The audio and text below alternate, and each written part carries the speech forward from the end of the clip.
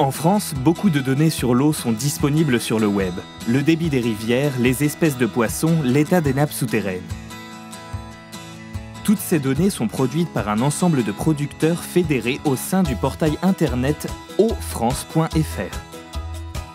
Si les initiés savent comment accéder à ces informations, pour le grand public, l'accès aux informations est encore trop complexe.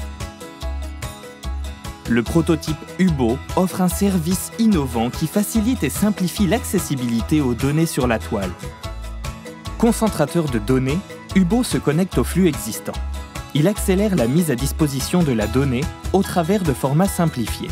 Et il propose des interfaces de programmation pour alimenter des applications tierces et pour valoriser la donnée. Martin est maire de sa commune et passionné de pêche.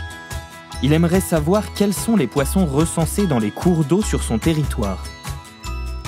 Martin demande à son équipe informatique de créer une application exploitant Hubo pour proposer, sur son site internet, des informations disponibles sur son territoire.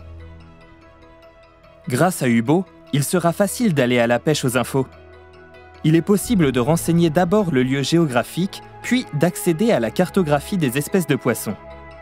Avec Hubo, Martin pourrait également proposer quelle est la qualité de l'eau des rivières qui traversent la commune?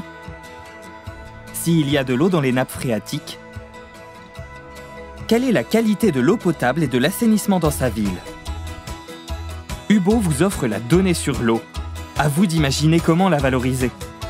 Pour suivre l'avancée de la mise à disposition des données sur l'eau, rendez-vous sur hubo.fr.